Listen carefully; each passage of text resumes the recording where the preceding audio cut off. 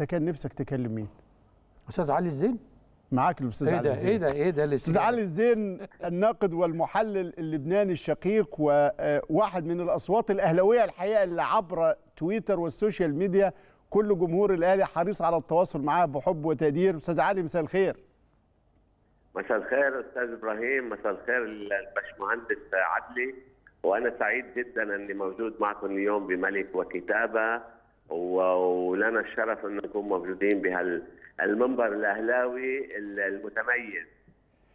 الحقيقة إحنا اللي آه، سعداء اتفضل. آه، آه، بتواصل حضرتك جدا يا أستاذ علي بالعكس أنا اللي سعيد جدا إني موجود ب- بالبيت الأهلاوي الكبير وموجود معاكم. والحمد لله الاهلي الأهلي بيسمعنا لو كانت المسافات بعيدة جدا.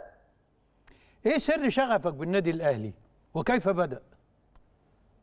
والله آه، يعني محبة النادي الأهلي يعني أنا قلت أكثر من مرة بقناة الأهلي وبأكثر من وسيلة إعلامية.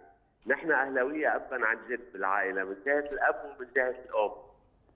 ويعني وأنا بتابع النادي الأهلي من فترات طويلة وكانت مجلة النادي الأهلي دائما موجودة عندنا بالمنزل وعند العائلة.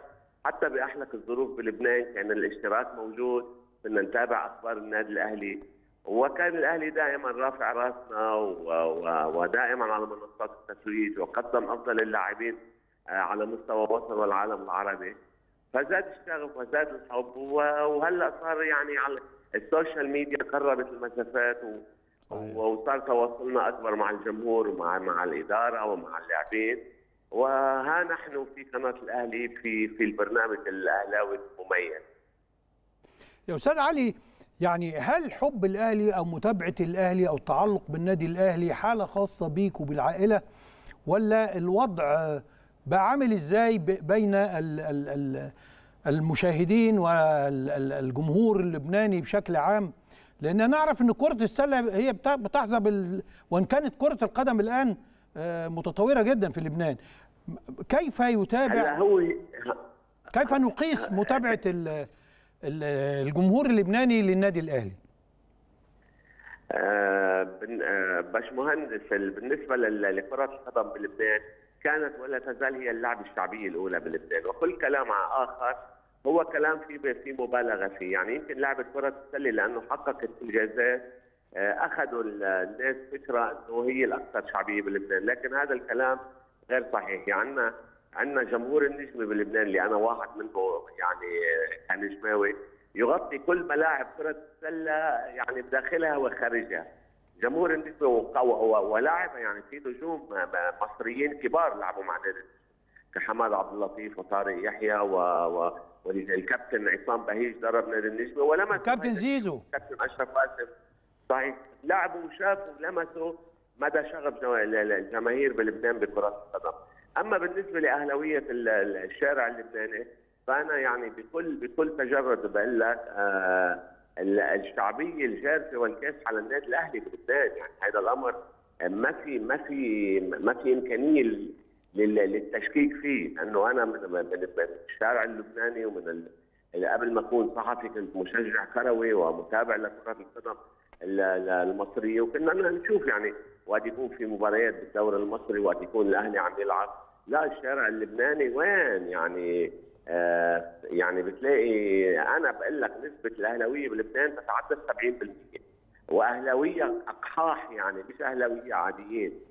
الأهلي يعني يشجع وكأنه نادي لبناني. هذا الأهلي يا عم النادي الأهلي نادي شيء كبير. اللي, اللي يجب يعني لازم الناس تطلع لبرا مصر تشوف شغف الجماهير بالعالم العربي بالنادي الأهلي وإنجازاته لحتى لحتى تنقل الصورة الحقيقية وليس بالشعارات وليس بالكلام الفاضي وليس بكلام يعني أي كلام مثل ما بقولوا في إحصائيات حصلت وفي في في جمهور على الأرض ولعب الأهلي خارج خارج يعني مصر في الإمارات ولعب في قطر ولعب في أكثر من دولة عربية وشفنا المد الأحمر على المدرجات وشفنا الجماهير بعشرات الألوف عم تتابع النادي الأهلي، فالنادي الأهلي قولا وفعلا هو النادي الأكثر شعبية وغير هيك كله كلام في الهواء. آه، اتفضل اتفضل لا لا لا اتفضل أستاذ علي تابعت افتتاحيه الدوري المصري هذا الأسبوع. كمحلل رياضي شفته إزاي؟ لا امبارح ال- الأهلي إذا فينا نقول يعني قدم وجبه كروية دسمه يعني كنا كلنا بانتظار اللاعب الجنوب أفريقي بيرسي تاو نشوف شو بده يقدم جديد للنادي الأهلي. على الرغم من أنا إنه أنا قلت أكثر بأكثر من مناسبة إنه اللاعب لويس ميكيسوني هو اللي اللي لفت لي نظري آه. السنتين أو الثلاثه الماضيتين لأنه كنت عم تابعه بدوري أبطال أفريقيا وكنت من أكثر السعداء الانضمام للنادي الأهلي لأنه لاعب يعني راح يكون فلتة الشوط السنة. لكن كان مؤثر مع سيمبا فعلا آه. ما سمعتك أستاذ إبراهيم. كان مؤثر كان مؤثر مع سيمبا كان التنزاني مؤثر جدا. سجل هدفين وكان يعني عطى عطى بعد آخر لخط هجوم ال- الأهلي وشفنا يعني لمحات وشفنا سرعه وشفنا مهارات فردية وشفنا كيف عم يتلاعب بالمدافعين. لا امبارح النادي الأهلي يعني آه، كتبت أنا على على على ال account عندي بالتويتر آه. وجه رسالة لمن يهمه الأمر امبارح إنه الأهلي قادم وبقوة ونحن اعتدنا على النادي الأهلي بيخسر الدوري بمصر مرة لكن بيرجع بيفوز فيه ست مرات. وبانتظار هيدا الشيء من اللاعبين ال- الأهلاوية الحاليين المظلومين لأنه هيدا الجيل انظلم. حقق ألقاب عديدة جدا حقق لقبين دوري أبطال أفريقيا حقق الدوري المصري أكثر من مرة حقق كأس مصر. حقق السوبر الأفريقي حقق السوبر المصري وما ولا وما زلنا نجد من يشكك بهؤلاء اللاعبين. لكن لاعبين الأهلي دائما بيردوا في الملعب. الرد يكون في المستطيل الأخضر. ودائما الأهلي يعود أقوى ويعود بقوة. وهذا الشيء شفناه. يعني أنا من خلال متابعتي من من أجيال مع النادي الأهلي. دائما بيخسر دوري بيفوز بستة. هيدي معادلة معودنا عليها الأهلي. وهيدي الستة مهمة جدا اللي بيفوز فيها بالدوري. طيب وانت أحد الأصوات الأهلاوية العاقلة والواعية والفاهمة. إحنا بنتكلم على إنه دي مجرد بداية. رسالتك للاعيبة الأهلي قبل الجمهور إيه؟ رسالتي للاعبين الأهلي دائما دا- لاعبين الأهلي. انزلوا إلى الملعب استمتعوا بكرة القدم.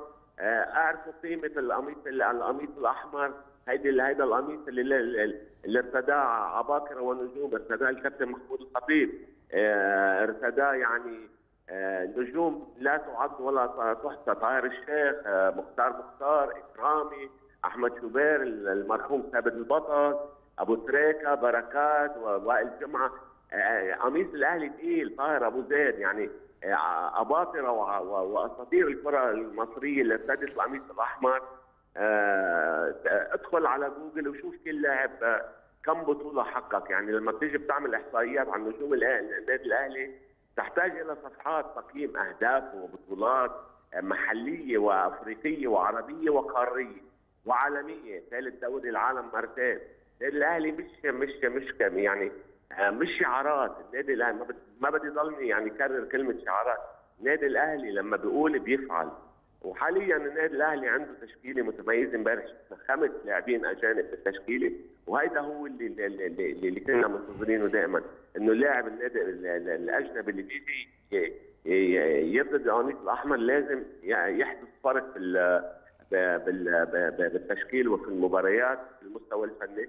وامبارح بينت يعني التشكيلة هذه اللي لعبت خط يعني انظر إلى إلى إلى مقعد الاحتياط إلى جانب موسيماني فعلا أسماء مخيفة قاعدة على البنش هذا هو الفريق اللي منتظرين منه آه، آه، يستعيد لقب الدوري ويحافظ على الألقاب اللي اللي- أحرزها. وال- والعودة إلى بطولة العالم من الباب الواسع آه، إن شاء الله بال- بال- بشهر مارس القادم. والفوز بكأس السوبر الأفريقي الذي سيقام في قطر للمره الثالثة على التوالي. ونشوفك بقى في أبو ظبي في كأس العالم للأندية يا أستاذ علي. نحن و... أين لعب الأهلي سنكون؟ سنكون حيث حيث وجد الأهلي. إن شاء الله هنلتقي على خير بإذن الله. إن شاء الله. الله. شكرا وموعدنا كمان موعد آخر في في في التتش يعني. انت انت أنت ميعادك معايا في التتش. قلت لي قريبا نلتقي في التتش فأنا منتظر. لا لازم. هذا زيارة التتش زيارة واجبة يعني لا. إن شاء الله. تنور وتشرف يا أستاذ علي. شاء الله مشكور مشكور أستاذ إبراهيم و- وسعيد جدا ب- بالتواجد مع ال- الباشمهندس عدلي كمان إحنا سعدنا وتشرفنا بمداخلة حضرتك وفي انتظارك بإذن الله. متشكرين جدا. جزيلا. شكرا جزيلا للناقد والمحلل الرياضي الكبير الأستاذ علي الزين اللبناني واديكوا شفتوا كيف أن الأهلي فكرة عابرة للحدود وإزاي الأهلي بقيمته وبمكانته بيجمع كل أبناء الوطن الحبيب.